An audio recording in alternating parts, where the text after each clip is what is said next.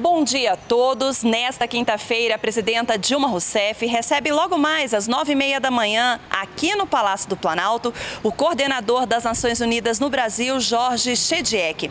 Em seguida, às onze horas da manhã, a presidenta vai receber o presidente mundial do Grupo Telefônica, César Alierta. À tarde, às 16 horas, a presidenta vai se reunir com o ministro da Educação, Renato Janine Ribeiro. E às 17 horas, o ministro ministro das Cidades, Gilberto Kassab. Daniela Almeida, direto do Planalto.